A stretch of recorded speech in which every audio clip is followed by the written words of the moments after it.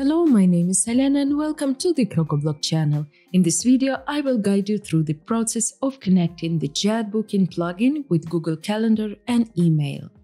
I will show you how to do it in several ways, with the help of the Make integration service and also by using the CrocoBlock built-in functionality. If you prefer other integration tools other than Make and want to connect other third-party services, calendars, CRMs, and so on, the process will be very similar. Before you start, make sure you have your JetBooking plugin activated, JetForm Builder plugin activated too, and you have a Make account. I use it because they have quite a decent free plan. And it would be great to have JetEngine as well. You will definitely need it for creating a custom post type for bookable item. Also, before connecting any services, you'll need to have the JetBooking plugin set up with few bookable items added. In my example, those are properties to test the workflow. The setup process is simple. Start with a wizard for the basic configuration and use the settings to fine-tune advanced options. At the final step of the wizard, JetBooking will automatically create a booking form. You can find it in the JetForm Builder, Forms, single-page booking form. We'll be using the form's post-submit actions to connect our automation sequence. Now, open the Make dashboard, go to Scenarios and click Create New.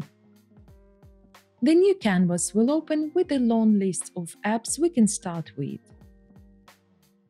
We need a webhook. Choose Triggers, Custom Webhook, then in the drop-down select My Gateway Webhook. You will see a link here, so click copy link and let's get back to our booking form. Open the Jet Form tab. Here I already have the post-submit action called Apartment Integration to connect form entries with Jet Booking. It was added automatically when I generated a form using the Jet Booking wizard. Now let's add one more post-submit action, call webhook. Simply paste the link you've just copied from the Make website and save the form. Switch back to Make and click the Redetermine Data Structure button. It means that Make will listen for events from our form so it can detect and fetch all the fields the form contains. It works because I've already pasted the webhook link which connects the form and Make.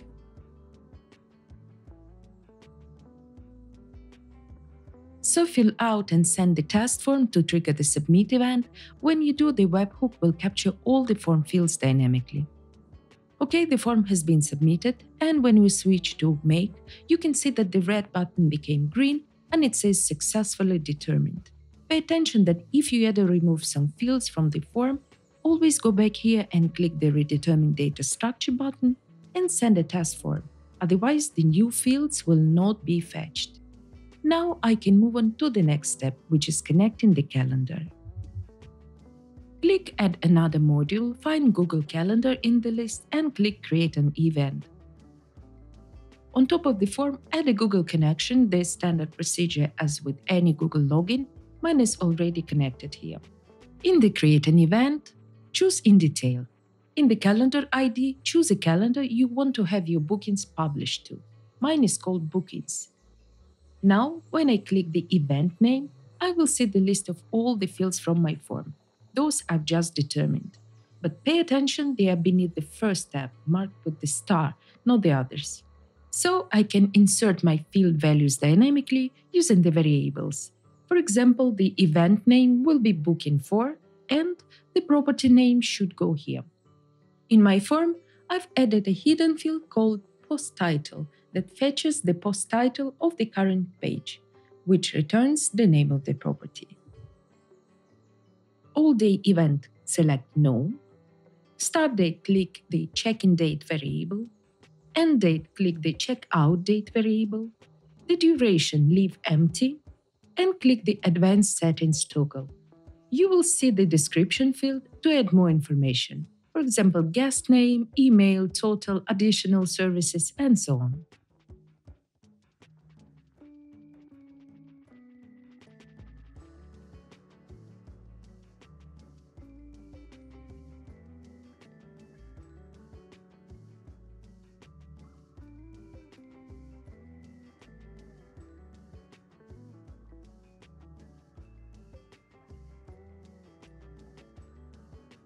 You can play with the rest of the fields if needed. After you finish, click Save at the bottom of the canvas, go to Scenarios and switch it on. Let's test how it works. I'm filling out the form.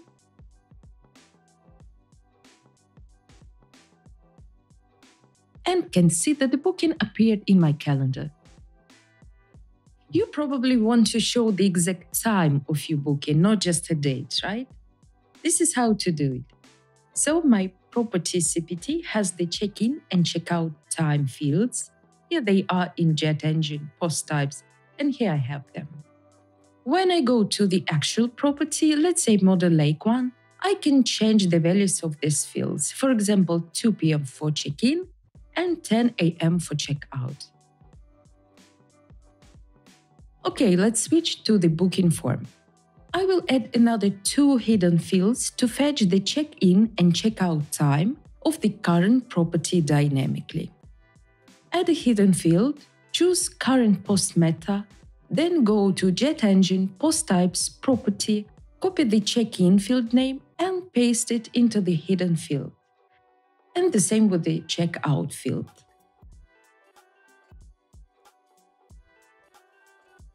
I need hidden fields just to transfer data from the form into Make and then onto the calendar. Because I've added new fields, I want Make to catch them. So I open my scenario, webhook, and click Redetermine Data Structure. Then I need to fill out the test form. Okay, it's successful. Now we need extra settings for the start and end dates in Make. Ensure it's not set to all day event. Then click the start date field and go to the tab with the calendar icon. Here at the bottom, you can find the parse date function. Click it and you will see these templates and examples for different date and time formats. My date and time have this format. You can find and change it in the form field and website settings. So I put it here, make sure it's really your format. Mine is days, months, years, and then hours and minutes without AM and PM.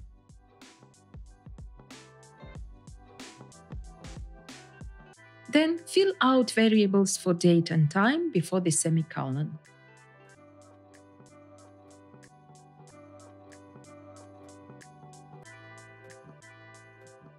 After that, do the same for the checkout time. You can just copy and paste this and change the variables.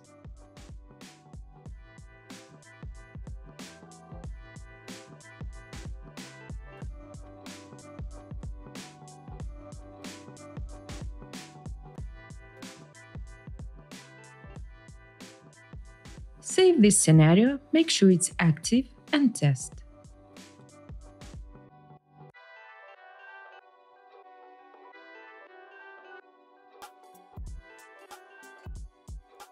As you can see, it works. I have an important remark here.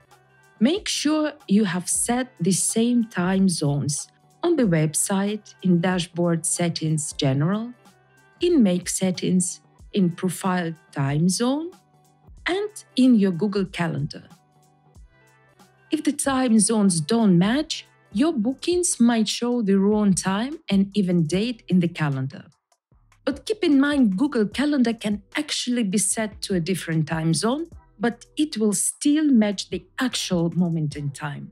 For example, this is the booking I've just added. Because the website's time zone is GMT plus 3, but my calendar's time zone is GMT plus 2, which means one hour earlier, it will show me the time and notification at 1 p.m., not 2. But if I open the event by clicking Edit, I will see the original time, the same as on the website, which is 2 p.m. Just like Google Calendar, you can connect other services, for example, Gmail. Click the wrench icon and choose Add a Router. This tool lets you add more than one app and launch them at the same time. I'm choosing Gmail from the list and then send an email event. The first thing to do here is to connect my Gmail account. I already have it done, so let's proceed to the next step. In the To section, you can either type an email address or use a dynamic variable from the list to send this email to a customer. For the rest of the fields, use the same logic as in the previous example with Google Calendar. Add text and variables when you need to add required information dynamically. If you want to send different emails or use different apps depending on form field values, add one more router, then click the range icon and add a filter.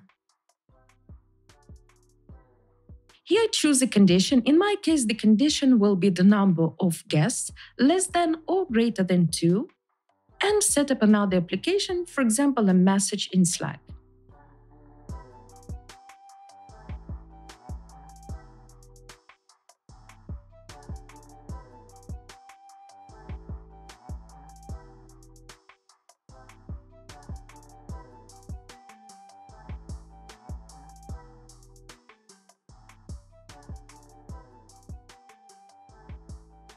The scenario and enjoy the automation.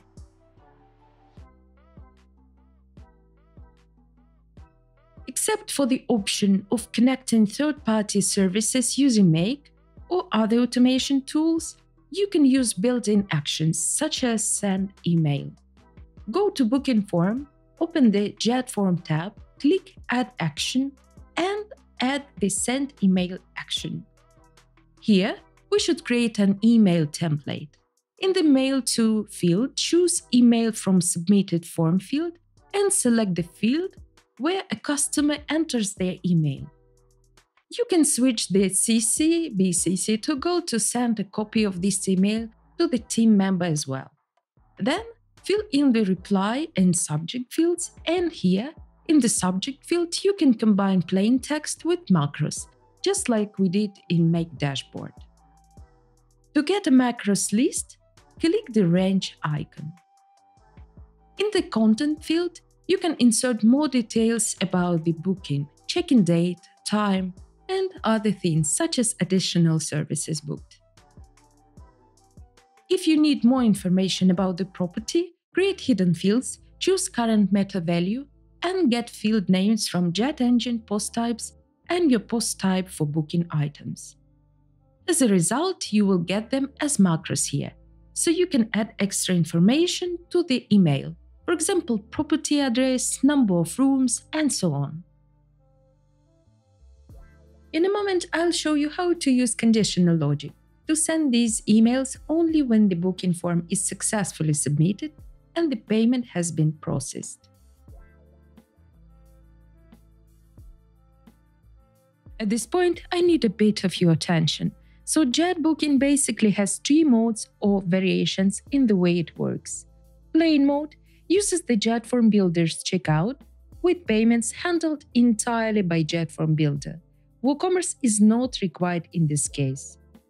Then, WooCommerce Basic Integration or Checkout, essentially the same as the plain mode, but WooCommerce manages the checkout process, payment gateways, and stores orders. Finally, in the WooCommerce based mode, bookable items are actually WooCommerce products of a special bookable type, with additional fields and functionality provided by JetBooking.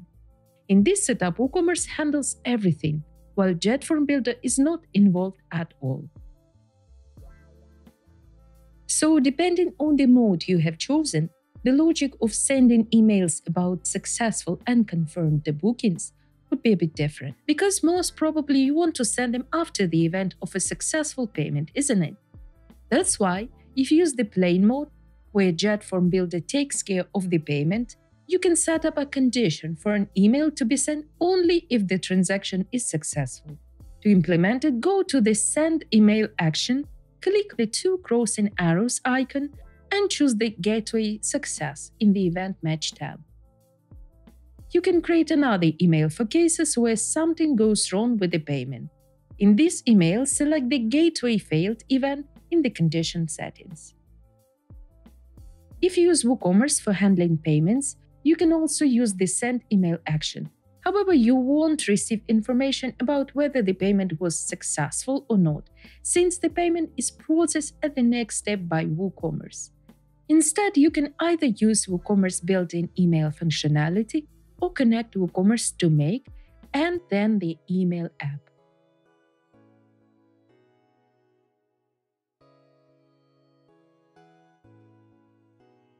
Not only JetForm Builder, but JetBooking too has its own built-in automation actions. To enable them, simply switch on the Workflows toggle. You can create as many workflows as you need, and each one can include as many actions as you want. There are two types of actions available send email and call a webhook. As for me, using webhooks is much more efficient at the form level as I've demonstrated earlier, because there you can fetch much more information and details about the customer and the property much more easily. However, sending an email from here has one cool advantage. You can easily send booking reminders. Choose scheduled and let's say we want to send a reminder to a customer one day before the check-in date.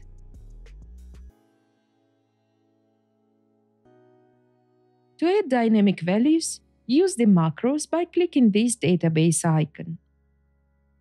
It's important to understand when to use the booking data section and when to use booking instance meta. User selected data such as check-in dates, booking IDs, and similar values can be taken from the booking data. However, there is a subtle point. The check-in time macro will only return meaningful data if the time picker functionality is enabled and users can actually select the check-in time. In our case, though, we have this information fixed and set up in the booking instance, and users can't influence it. That's why we need to use booking instance meta.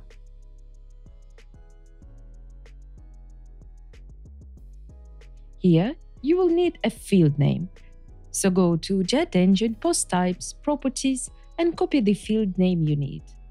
For example, check-in and check-out times, address, and so on.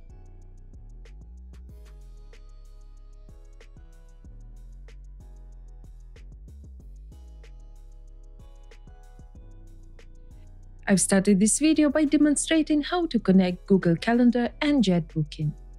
But if you need two-way calendar synchronization, JetBooking supports it through the iCalendar feature. In this case, you'll need a dedicated calendar for each bookable item. We already have a detailed video guide on setting up this feature. Please check the link in the description. I hope you found this video helpful and I wish you the best in building amazing booking websites with CrocoBlock. Don't forget to subscribe to this channel and join us in the next video.